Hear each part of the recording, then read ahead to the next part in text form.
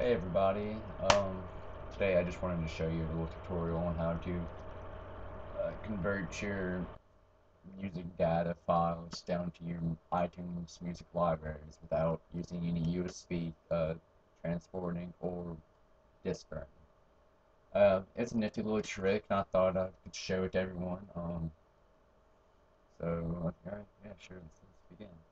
Now, what you're going to want to do is find your folders where you have wherever you uh, stash them in, and just get two of them. If you have Windows XP or not, you can still do this technique, just not as simple. Um, all right, so we're gonna go down to you're gonna go to your downloads, go and search in library for the downloads is, or you can have it up into this neat little shortcut.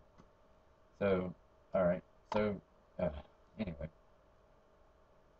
to find your music data, and I have found mine. Be right. No, it's not here. Probably. Oh well, it doesn't matter. So you're just to find it. It's to be right here. And then what you're going to do is you're to go down to music. If where the music is, be, if it's correctly, it should be your iTunes. And iTunes, there should be iTunes Media and you're to have these four uh, folders. Now just keep it there.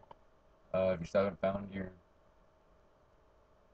uh, music, just uh, stay and uh, until you find it, you're going to get the file, have two screens open, and you you can just bring it over to the other window and place it in the automatically add folder.